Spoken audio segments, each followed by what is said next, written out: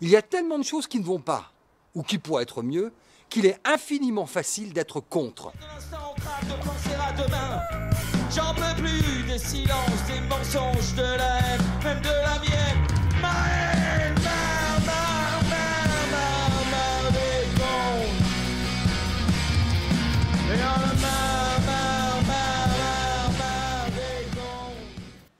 Plutôt que de manifester, bloquer, dessouder, hurler, chouiner, détruire, décourager, casser, rond-pointiser, révolutionner, apostropher, glapir, fulminer, complotiser, sermonner.